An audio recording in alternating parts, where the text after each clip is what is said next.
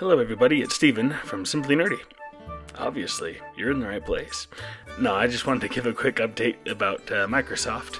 Um, I know this doesn't have anything to do with Nintendo, but I think it does, so bear with me.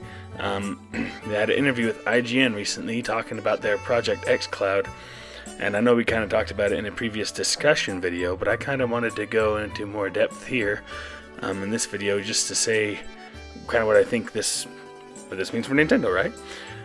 So in the interview, they were talking about how Xbox, Microsoft, um, they wanted to bring their core Xbox experience to whatever device you wanted to play on. So that means your saves, your achievements, your friends list, everything will just be um, streamed from the cloud now.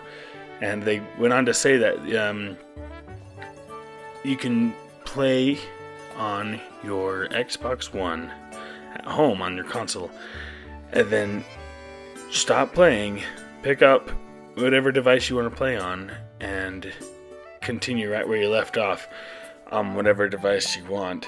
So long as, and this is what Anthony and I went into in that last video, or a couple videos ago, um, as long as you have a good Wi-Fi connection.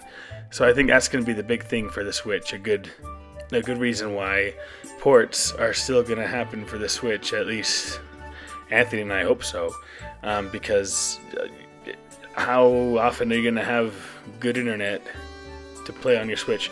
Assuming this service even comes to the Switch, which hopefully rumor has it it will, um, but you would never know until it's confirmed. Um, but anyway, the Switch is you know amazing, and being able to bring everything with you wherever you go. Um, if you don't have good Wi-Fi service or a good, I don't even know if the cellular service will be good enough to run Xbox One games uh, on the go.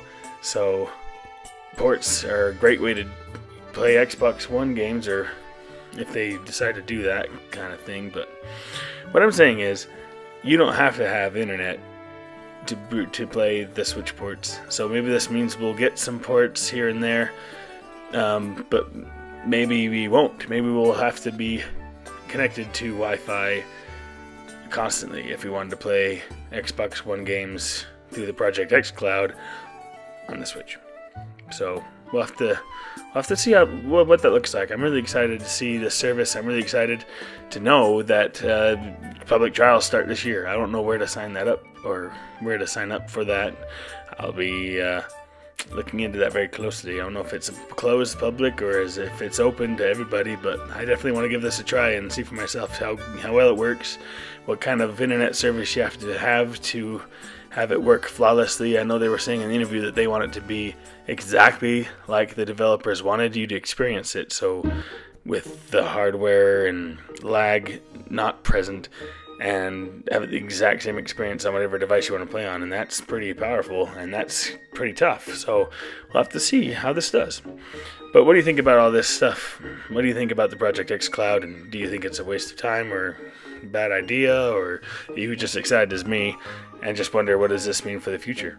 Um, let us know in the comments down below and if you like this video give us a like and subscribe. Until next time keep it nerdy